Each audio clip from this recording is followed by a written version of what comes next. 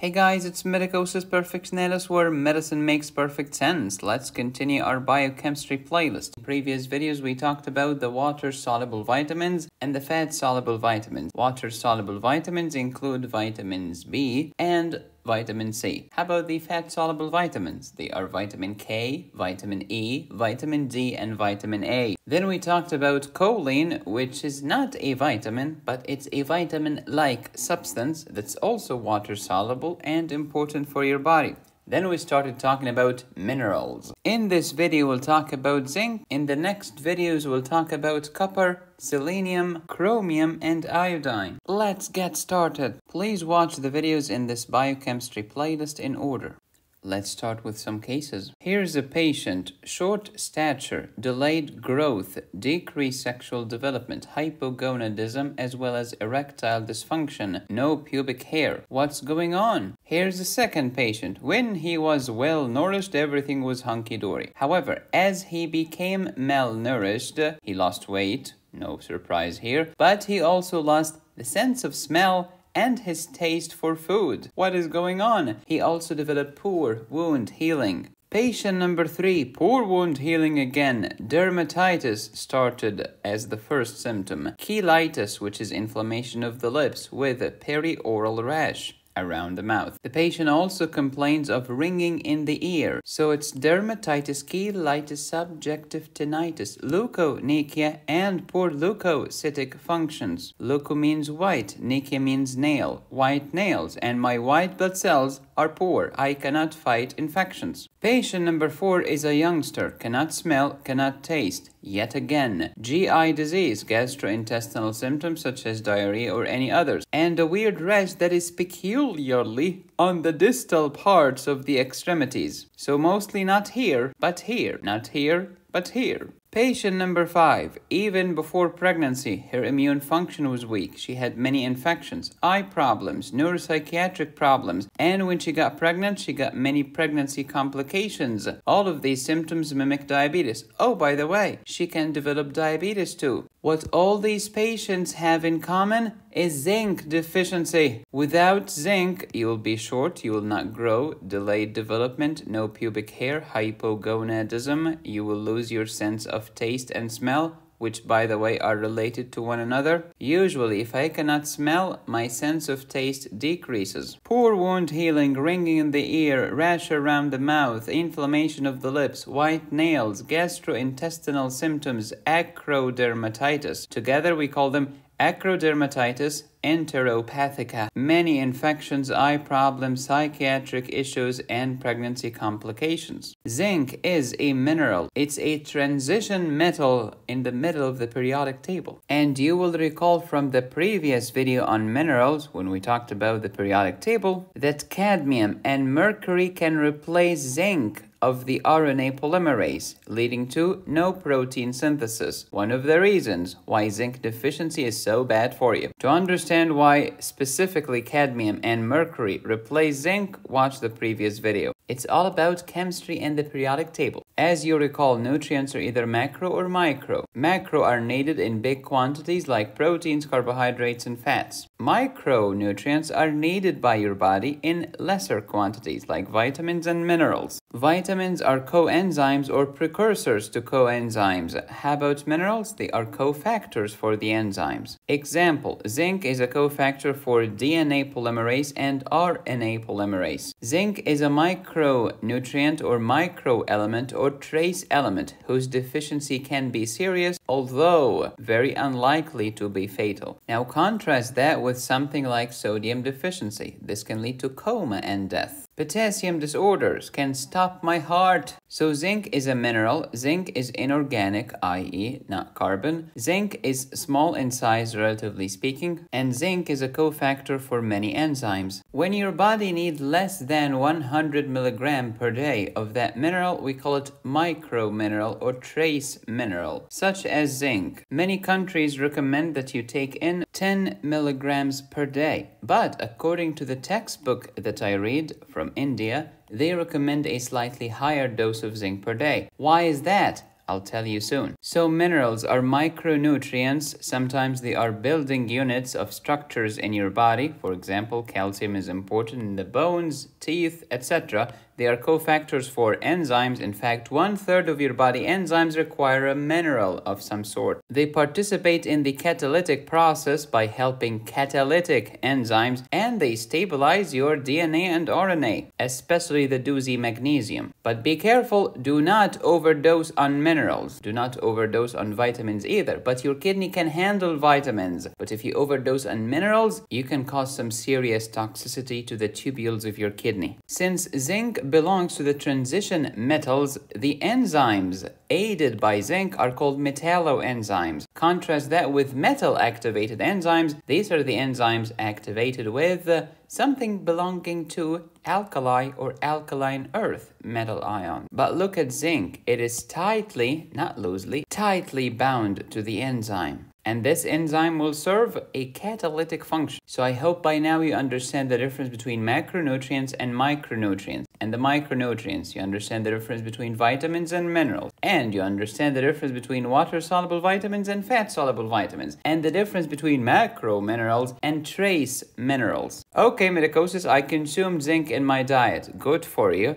Now zinc will be absorbed, i.e. it will cross a membrane from your gut to your blood. This absorption process is interfered with by many factors, including excessive copper intake, excessive calcium intake. Maybe you watch Matt Stonie on YouTube eating 10 boxes of cereal with milk. Well, too much milk, too much calcium, you will not absorb zinc that day. The same goes for copper and phosphate and fibers and phytates. You will hear the word phytate or phytic many times in chemistry. They are present in fruits and vegetables, and that's why if you are a strict vegan, you are at a higher risk of zinc deficiency. And that's why the textbook that I'm reading from an Indian author recommends a higher dose because there are more vegetarians in India, relatively speaking, more consumption of fruits and vegetables, which have many advantages, but they contain fibers and phytates, and they may interfere with the absorption of zinc. Moreover, if you look at zinc deficiency across the globe, it is more common in poor countries, where the consumption of beef, chicken, fish is relatively low. So here is everything you need to know about the doozy zinc. We talked about its nutrient, micronutrient, micromineral, or trace element. It's an ion, which means it's water soluble. It's a transition metal in the periodic table.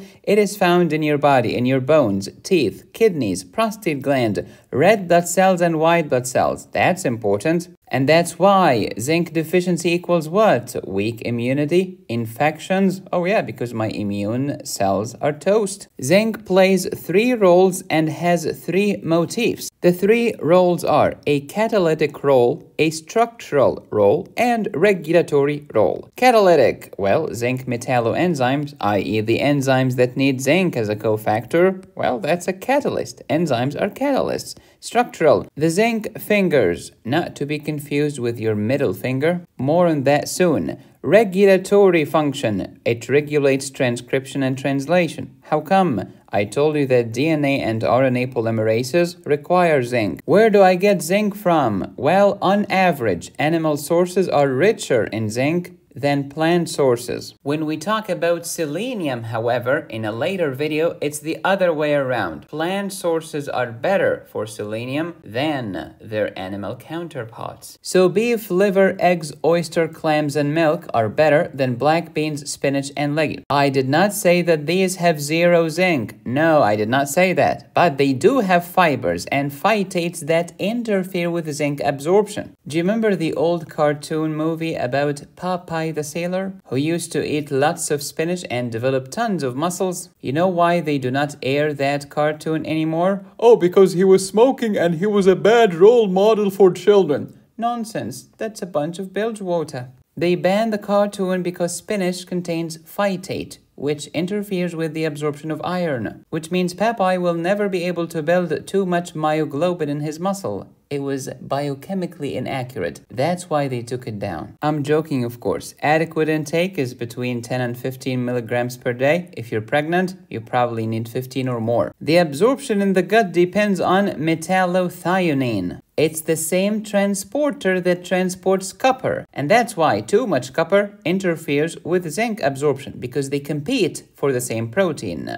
Conversely, too much zinc interferes with copper absorption. So later when we talk about copper deficiency in the next video, I will tell you that one of the causes of copper deficiency is zinc excess. What are the lovely enzymes that require zinc as a cofactor? The famous carbonic anhydrase. Do not forget your chloride shift phenomena of your red blood cells. Zinc is important for DNA polymerase and RNA polymerase. If there is no replication, transcription, translation, what's going to happen? You're not growing, short stature. You're not developing hypogonadism, impotence, no pubic hair. Zinc is important for a protein known as gustin. What is a gustatory signal? Taste signal in your brain taste gustation. So gustin is a protein of taste. So without zinc, what do I get? No sense of smell, which decreases my sense of taste. Next, the enzyme superoxide dismutase, which neutralizes the superoxide, needs zinc and copper. Without it, I have too many oxidants in my body, which can lead to inflammation, which can lead to injury, which can damage my cells, including red blood cells, white blood cells, all kinds of cells, as you see from these symptoms.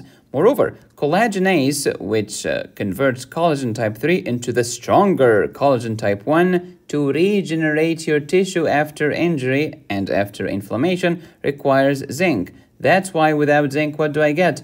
Poor wound healing and poor tissue repair. Alkaline phosphatase, the famous enzyme in bones and in the biliary system, requires zinc as well. Alcohol dehydrogenase, which metabolizes ethanol, and lactate dehydrogenase, important in glycolysis, it makes lactate from pyruvate, also requires zinc as a cofactor. We talked about the symptoms of zinc deficiency before. One genetic disease of zinc deficiency is called acrodermatitis enteropathica. Acro means what?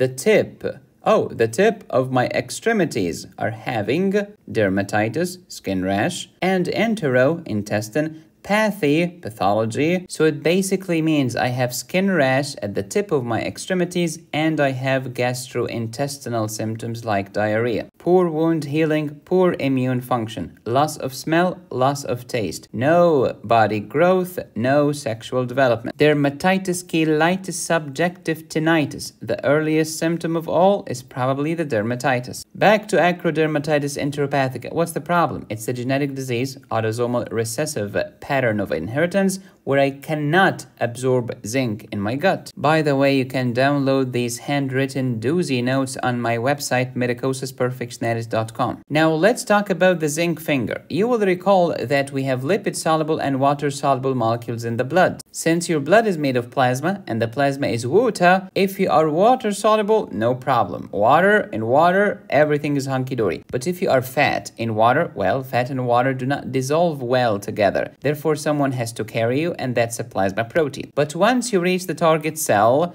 the cell has lipid bilayer membrane. So here is lipid and here is lipid bilayer membrane. Lipid and lipid, they can diffuse like a sharp knife through warm butter, no problem whatsoever. And then inside you will find your receptor and you will work through a zinc motif. Now, what are these hormones that have the receptor inside the cell because they are lipid soluble? They are steroid hormones, and I mean cortisol, I mean aldosterone, the adrenal androgens, the testosterone, progesterone, the estrogens, etc. So all the androgens, all the estrogens, the progesterones, all of them are steroid. The thyroid hormones, the fat-soluble vitamins, D, K, E, A, all of them have the receptors inside the cell, not outside but inside. And then when you hit the nucleus, what's going to happen? You will operate a zinc finger, which contains zinc molecules. If you are zinc deficient, your zinc finger will be deficient and your thyroid hormone or cortisol or fat soluble vitamins might not work properly. One of these fat soluble vitamins is vitamin D. Where's the receptor? Inside the cell. The receptor needs